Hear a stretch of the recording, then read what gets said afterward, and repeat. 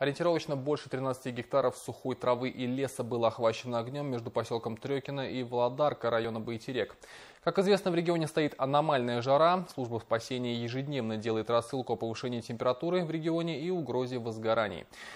В Трекинском сельском округе на 8 гектарах горела сухая трава. Огонь охватил и лесной массив, а это порядка 5 гектаров. Был объявлен пятый класс пожарной опасности. 35-градусная жара и ветер только усугубили ситуацию.